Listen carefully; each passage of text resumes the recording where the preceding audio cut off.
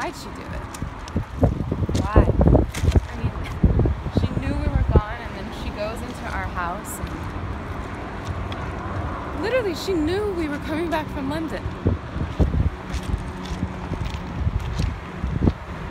How could she be so insensitive and callous, right? To the fact that we loved your mom. We loved her, and those were the only things we had left. Why would someone go to someone's house and throw away all of their ornaments? Ornaments. Because she says that they were tired. And then she goes and replaces them with sparkly ones.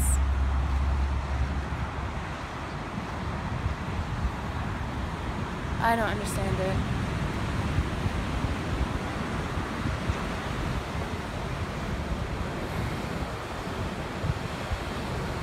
I guess there's nothing we can really do, right? Let's go surf.